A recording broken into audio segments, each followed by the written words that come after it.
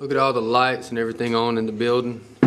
The heat, the air, the water, everything's been on. I even called Duke Power to find out some information. And we're basically paying $700 a month in tax dollars just to keep the power on on a building that the doors are locked and nobody can use.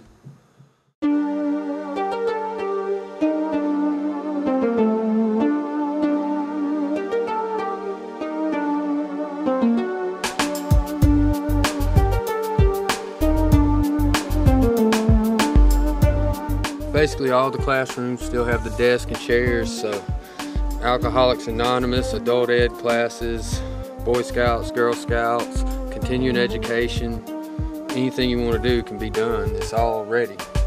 All it's going to take is the people willing to